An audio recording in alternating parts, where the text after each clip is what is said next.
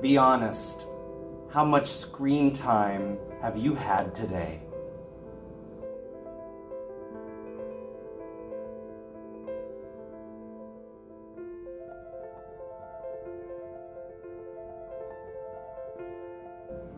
Hi, I'm Father Manny with the Companions of St. Anthony. In this video series, I want to look at how we might feel disconnected from various things in our life, given the pandemic, given the situation in which we all find ourselves.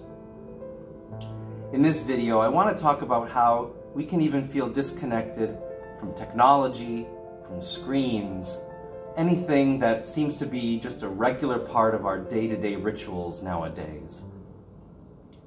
I know I've had moments where I've noticed I've spent way too much time scrolling on my phone, or I've spent way too much time in front of the TV watching a Netflix show, you know, whatever. We can sometimes overdo it. We spend too much time in front of our computer, iPad, screen, whatever it is we can get lost in it. And that can disconnect us from reality, the people around us.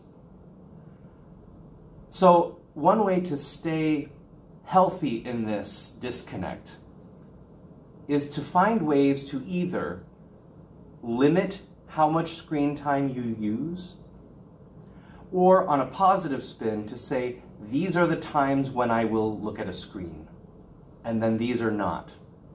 To have a balance so that it doesn't just take over your whole day.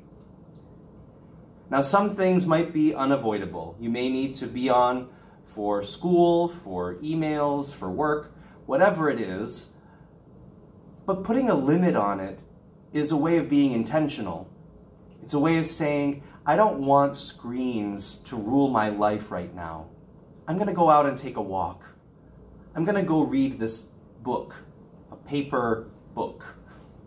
I'm going to spend time in prayer and light a candle.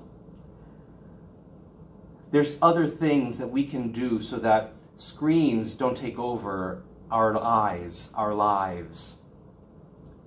And being that intentional will only help in staying in a healthy balance.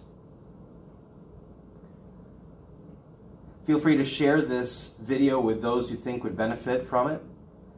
How have you handled screen time, either for yourself or for your children?